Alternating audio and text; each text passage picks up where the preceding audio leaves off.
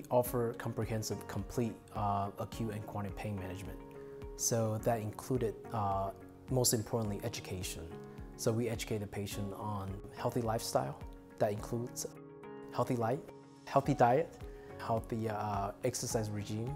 Uh, that's really one of the most important things that we really focus on. Uh, secondly, we uh, also focus on the importance of physical medicine, incorporation of massage therapy, chiropractic therapy, physical therapy, um, acupuncture. I think our focus on comprehensive pain care is really what sets us apart. We're not simply looking to uh, see how a patient fits into our program, but rather we're trying to find out what are the types of uh, positive changes that a patient can make.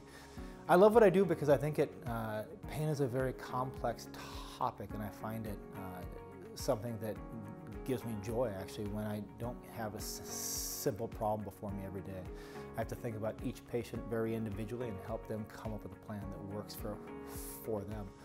I think the thing that gives me the most joy is actually seeing patients follow through on that plan and seeing them enjoy a great deal of success with their pain care. When you can make an impact on a patient's uh, functional capacity and their overall quality of life, that's where the rewarding part is.